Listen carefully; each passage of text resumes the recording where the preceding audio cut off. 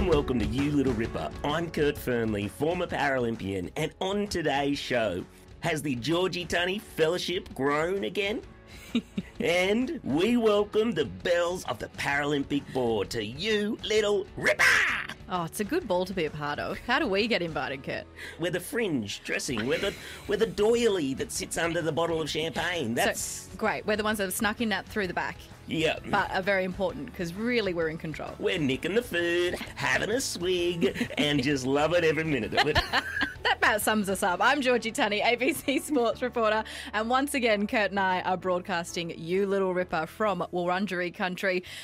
Kurt, we have made it to day nine of the Paralympics, and this is our episode 10. You know how milestones, like people raise the bat when they get a half century, a century in cricket? I mean, this is our raising the bat moment. A tilt to the hat, tilt a to the raise of the bat, Yep. and a point to the grandstand and say, this one's for you. What's your favourite ever celebration that you did throughout your career? Do you have one? Hmm. I can talk about the time that I came seventh in a regional uh, 50 metre breaststroke competition in Queensland. And I finished and I just ripped my cap off in the pool and was like, damn straight, guys.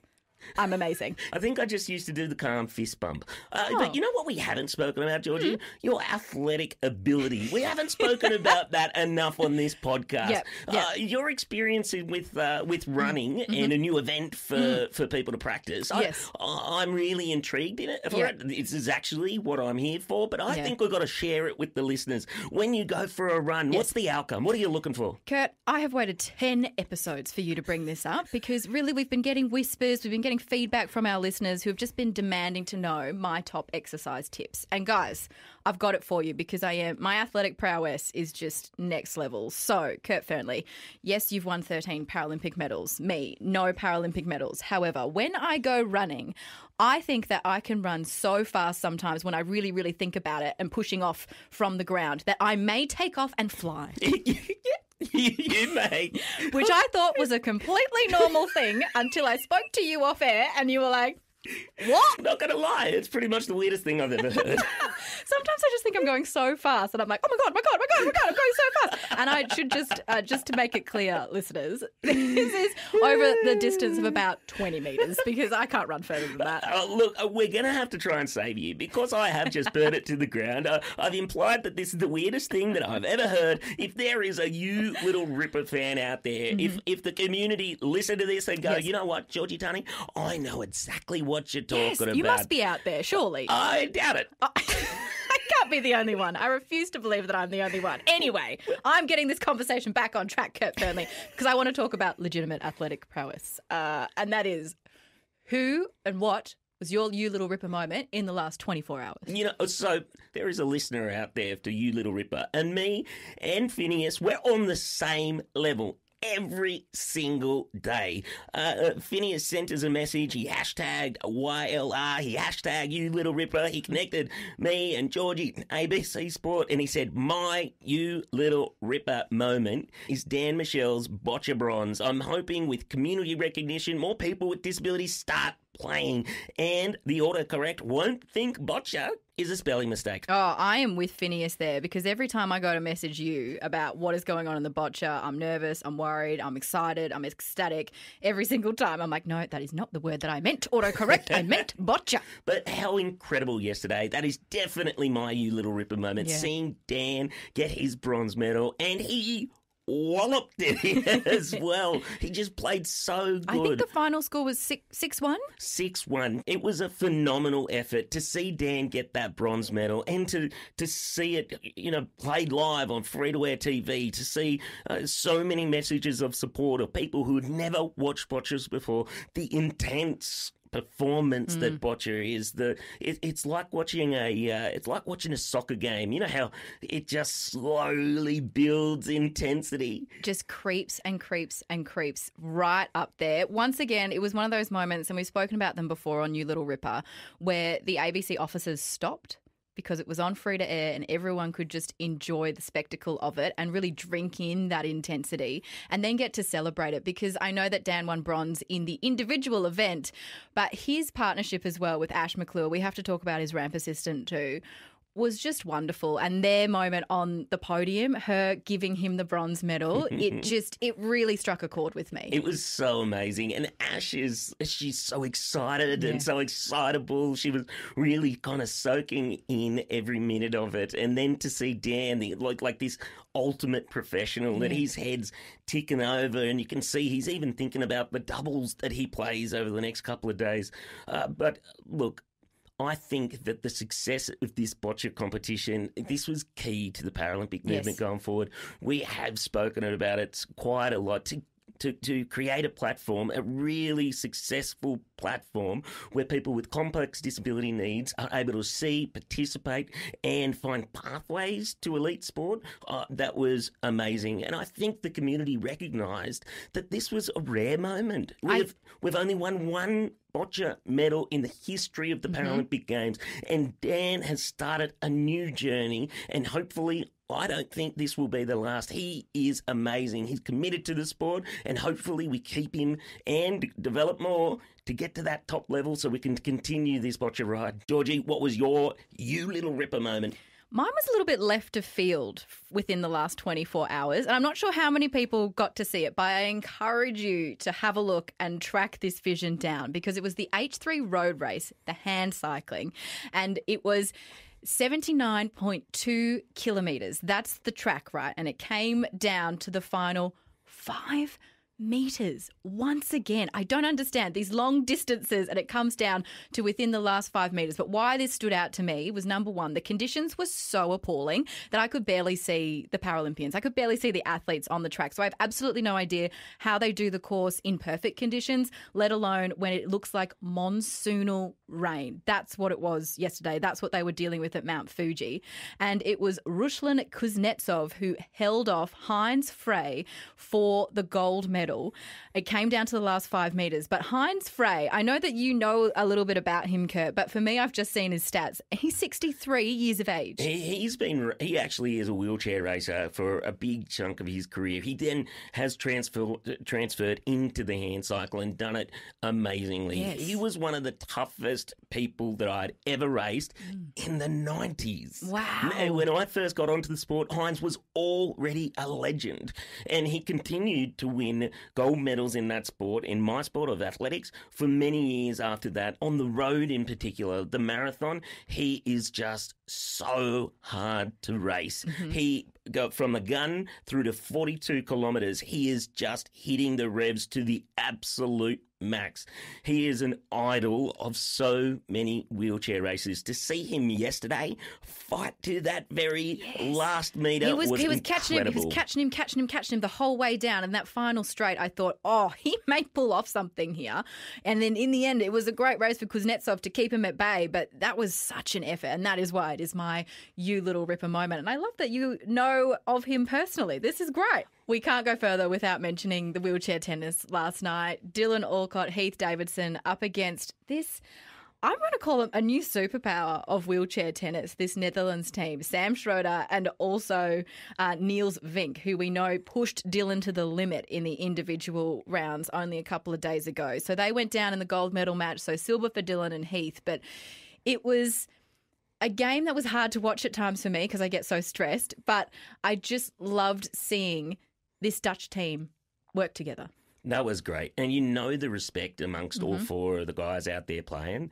You, you saw the respect shown between Dylan and Niels yesterday, but it was on show again. Mm. Yes. I think there is a recognition that this team, the Netherlands team, are something quite special. And there's no doubt uh, that, that both Heath Davidson and uh, Dylan Alcott are and have been something amazing as well. Yeah. So that real mutual respect on display, I think, was a, a, a great moment for the Paralympic movement. My next to the best was Blake Cochrane's bronze medal. This was he- special. It was so nice. See, he's, he's talking about his little girl at home. He was a late inclusion to the team. He was actually a late inclusion to his first Paralympic team back in Beijing. And he got on that, he got the bronze medal, and he said, This one means more than any And other this medal. is this is in the pool last night. So we're going back to the pool with the Dolphins team and Blake Cochrane. He, this this particular moment was the most special of his career. 100 metre breaststroke, the SB7 final, and he's won two gold medals. He's won two silver medals. Yeah. But this was the moment for him that was special. He has, you know, having his family at home, you could just tell that sometimes you get to a point in your career where you aren't looking at the next race. Mm-hmm. You're not even really looking at the, the race you just finished. You're, you're, you're seeing the entire breadth of what you've done, the length of your career, and that makes those last few medals, potentially last few medals, a lot more special. But you could really see that in him yesterday. I thought it was special. Tim Hodge got another medal too, silver, this time in the men's 200 metre individual medley SM9. And what a story he is this Games. Look, that was an incredible swim. He was a couple of lengths out at the end So of the close. second leg, and then they turned to do the breaststroke, Yeah. and uh, his competitor just. Oh, it was unbelievable. Would have made at least two body lengths up. Huge. But, then- but then Tim continued to fight to the very end. He touched just in second place. Also, last night, wheelchair basketball.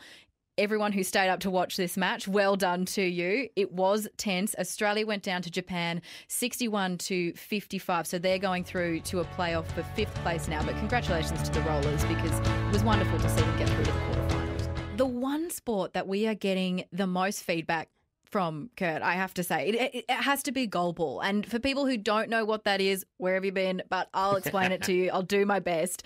The aim of the game is to roll the ball into the opponent's goal as opposing players attempt to block it with their body. So basically, it's like a volleyball court. There's two huge soccer goals on either end. You're trying to get the ball into the goals. The key thing here, though, every player is blindfolded. There's a bell in the ball as well, so that allows the the players to be able to hear it and jump in the direction that they hear the ball going towards. There has been so many little stories that have sent in. There was a, a little girl who is uh, visually impaired whose mum put rice in a balloon Oh. and then filled the balloon up, and they started playing their own game of goalball at home. Oh, I love that. These this is, is such a great moment for the Australian Paralympic community to see the Belles not only win one match, their first match uh, over their entire career, 25 years of goalball, but then to back it up against a world champion team and get another win. They weren't quite able to uh, to beat Turkey yesterday in the quarterfinals, but we love them. Love them. And we are so excited today to bring two of our Belles on the show. The entire nation has been behind them. I can't wait to actually speak to them. Jenny Blow and Meica Christensen, welcome to You Little Ripper. Thanks for having us. Yeah. Thanks, guys. Jenny, the most messages that we get at You Little Ripper is this gratitude of people who have been introduced to goalball for the very first time. Ha- has this journey sunk in yet? Oh, probably not. Like, still, you go through social media and you'll read these comments saying, Oh, I just saw goalball for the first time. I'm so excited. This is a great sport. Oh, your skill is amazing. And that's incredible. People who are hear- hearing about it, if we had a dollar for every time we answered the question, What's goalball? We would be millionaires. we wouldn't be funding our way to compete overseas. We would be well and truly sorted. Um, but I think now Australia knows what goalball is. And um, one that gives us like a bit of pride in what we do because sometimes you feel like oh we do this weird sport that no one's ever heard of but also um, it means we've got a future it means we're going to get some players because even if the, the young vision impaired kids themselves haven't heard of goalball someone will say oh hey have you heard of this sport called goalball mm.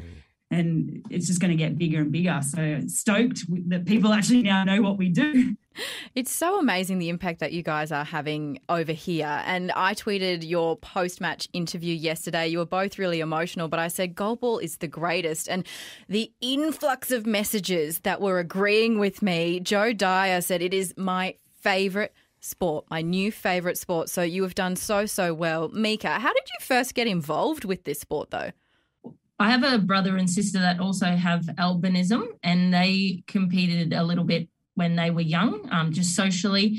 And then my family fell away from the sport for a little bit. Um, I didn't really have much to do with it until I was in high school. And one of the girls that was on the Australian team at the time started up a little bit of a school team and I started doing that and then went I really enjoyed it so started going socially and then got invited to a Australian team um, camp and then it all went from there I fell in love with it What's the difference with this team? You- you- You're both three time Paralympians. What has made the success possible? I I think it's a few things. And I think it's really important to realize that it's not just the six players over here in Tokyo and the two coaches.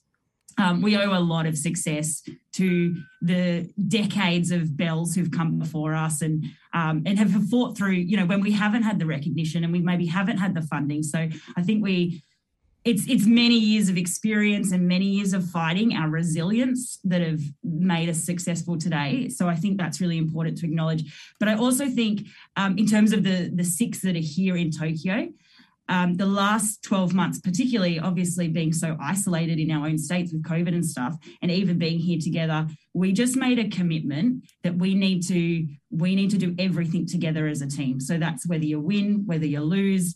Um, for those people who have their very best game and players who have a have a terrible game, um, whatever happens, whatever emotions we're feeling, we need to do it together. We need to support each other. We need to lift each other up. And I think that team kind of camaraderie, I guess um, just spending time and really focusing on that. I think that's really helped this campaign for us. So, Meica, what was it like to get that first win? What did it feel like?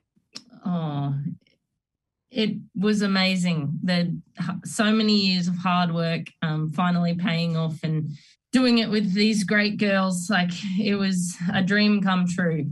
I can't really put it into words. It's, it's, it still I don't think is fully sunken in. Um, but yeah, I'm just really proud of everyone and just so happy that we could do it. Did Jenny give herself the nickname Awesome, or was there like a group of people that decided upon it? Oh my gosh, this is the most embarrassing thing. This is why don't say don't say anything to media that will come back to bite you. Like so, we were doing like we had to do profiles, and I was just in a mood like, oh, this is, I'm just going to put stupid answers, whatever. Like nobody knows the goalball Belles. No one's going to read my profile. So as a joke, I wrote awesome because I thought it was funny and I'm not a very funny person. And, and it's, it's gospel now. And I, did, I wrote this like 10 years ago and it is just come bite me every time someone I have an interview. So yeah, she gave it to herself. Well, we both think you're bloody awesome, and the whole of Australia does as well. Uh, I have one question for you know armchair expert me, who's now become obsessed with your sport. How do you find the courage to throw yourselves around that court? How do you do it?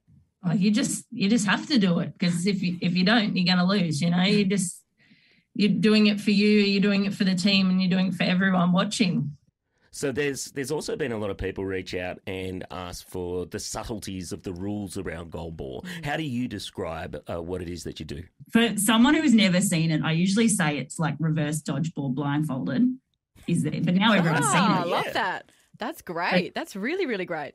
You don't realize how much training goes into because you are under blindfold.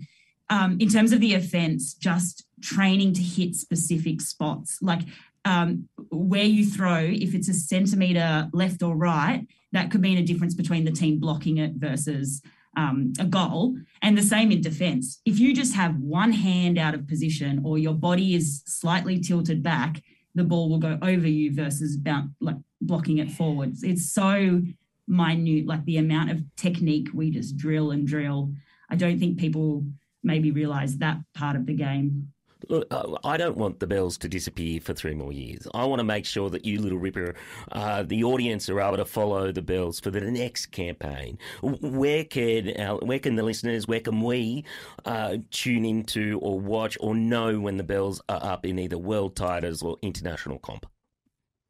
Oh, yeah, so everyone could just follow us on um, Facebook and Instagram, just the Aussie Belles, and we'll continue to post everything that we're doing and on and off court as well. I know that you guys, you know, a very successful campaign. Yes, yes, yes, yes, yes. Three time Paralympians. Yes, yes, yes, yes, yes. But the ultimate challenge.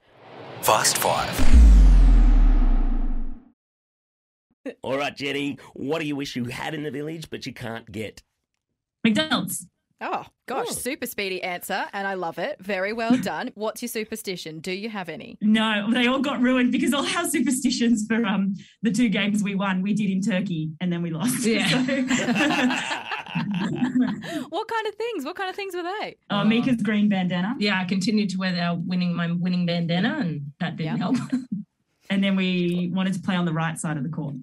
It didn't. Oh, okay. Gotcha. Well, well, I had a pair of lucky jocks that lasted for about 20 years. And whenever I'd have a really bad race, I would always sit back and go, could have been worse. If I wasn't wearing the lucky jocks, who knows what could have happened? That's science. science, for sure. Meica, what's your all time favourite Paralympic moment? Walking out in 2012 to the opening ceremony with the tech girls. Why was that particularly special? Uh, first Paralympics, and you know everyone's watching you. It's amazing. Jenny, outside of the Belles, who's your favourite Paralympic teammate? Oh, Dani Di Toro. She's great. Yeah. And actually, she's Yeah. been a big support the last 18 months too. We've both been in Melbourne lockdown. So that's Friend of the pod, Yeah, friend of the pod. We Yeah. love Danny. heart and soul of the team. Uh, Meica, if you weren't a goalball athlete, what event would you be in? Uh, athletics, probably shot put. Really? Oh, Is this something to do with being a. Because Georgie has an obsession with storming the gates of Mordor That's with right. other athletes Yeah. who are. I'm building a crew. She's she's building an army of Paralympic athletes, mostly javelin throwers, but Yeah. I'm pretty sure a shot putter would be pretty handy as well. very handy. Hey guys, just before we let you go, I want to ask because I know that the past 18 months have been really. Um, you know, very, very hard to deal with with Melbourne lockdowns. I was part of it myself. How did you guys get through it? I guess just concentrating on our end goal. Um, you know, obviously we didn't know if the Olympics or Paralympics were going ahead, but um, just thinking every day, you know, when people got negative about it, oh, it's not going to go ahead. Just, I don't want to hear it. it. It's going ahead. And, oh, you just got to put one foot in front of the other and keep pushing. And not, like I've said before, it's not just for us, but it's for, well, not just for individual, but for the team. You know, you can't give up because you, you're letting everyone down. So that personally, that's how I got through it. What a massive day ahead today. Today is huge. Uh, we're going to start with the, the road racing. Uh, we have Meg Lemon, em- Emily Petricola, uh, Darren Hicks, David Nicholas, Stuart Jones, Carol Cooke. Uh, that's that's all just one sport.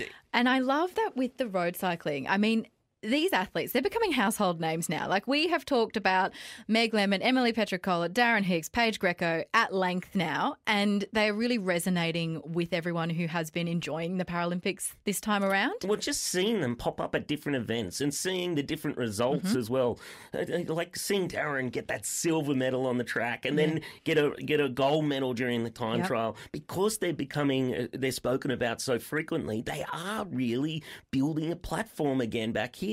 Uh, look, it's going to be another massive day. Um, Australia are also in the quads. Singles gold medal match. Dylan Alcott versus Sam Schroeder. Sam was part of the uh, the, the doubles match that, Yes. that that beat Heath and uh, Dylan yesterday. So there's a lot of recovery that's going to happen, both for Dylan and for Sam, because Dylan and Sam they had to fight their way through to the singles final, obviously. But to back up after that high intensity match that we've talked about already, the doubles uh, final last night, this is this is a lot for them. This is a big schedule. Look, they would go straight back to the village after last night. I hope, I hope that they weren't taken to drug testing because that can actually Mm-hmm. Extra hours, it just can so much longer. hours after it. And I actually had someone reach out to me about describing blood uh, uh, drug testing because there would be other medications in the system potentially to manage disability. You put a therapeutic use exemption in any drugs that are required for your or any medication that's required to alter your disability or to to dodge some of the uh, effects that uh, that would present itself. Uh, and if you've got that TUE, it's called therapeutic use exemption, then it's all fine as long as you report it in advance. But every athlete that gets a gold medal, or at least they used to, would all have to go through that process of Wow. drug testing. But it's all about keeping fair and clean and even Yes. playing field for all of our athletes. Um, look, they would have went home, jumped in ice bars, had a massage, uh, they, they, they uh, a piece of meat. Trying to refuel, right? Because in my mind, it just doesn't compute. Once again, athletic prowess of mine coming to the forefront, but it just doesn't compute how you can still back up and be at your best ability going into this match after having, you know, played the last like non-stop past every single consecutive day. Yeah, oh, it's you do feel like you're a vehicle. Yes. I, I remember one muscler who uh, used to work on me between events. He used to say that I'd get off the track and I was like a panel. He was like a panel beater. he would come up to you and just push things back into place, Ugh. and then you would go and you would sit in an ice bath for like ten minutes just to bring down inflammation. Uh, you have the perfect um, spread of food. Uh, So a dietitian will work with you about the recovery and turning up tomorrow with the highest likelihood of full recovery. So you just go through these motions. Everybody is working to make sure that you do recover. Uh, it does get a little harder the older that you get, but these guys are professionals. That's what they do. They, they go to a games not just to peak at one event. They go for, for two, sometimes three, sometimes four. Yeah. But they have a team around them that they have trust and faith in, and everybody, everybody works to go in the same direction. Well, Dylan will be back in action tonight, and I know we've we've touched on it before, but every single second that he's on a court, watch him because we don't know how long he's got left. He can't play till he's hundred, despite my best wishes. Look, last night one of the highlights was him mopping the uh, tennis court. Yeah, with the conditions. he pulled a towel out and he's doing this this dance circle thing with the towel. on the- you have to search it. Uh, there was rain and it was rain delay, and Dylan Yeah. was just chipping in. Just chipping in. Love you love to see it. You love to see it.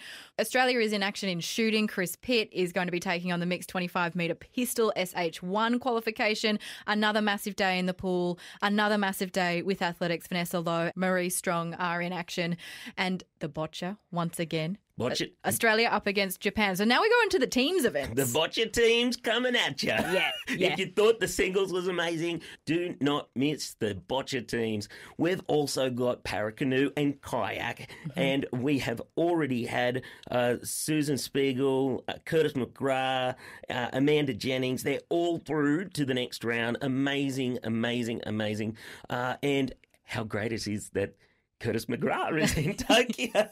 I can't. I've been so excited for his program, and I know that he's added an event to it as well. So he's done so much extra training in the lead up to this. So I can't wait to see him in action throughout the games. And there's back in the canoe and the kayak tomorrow.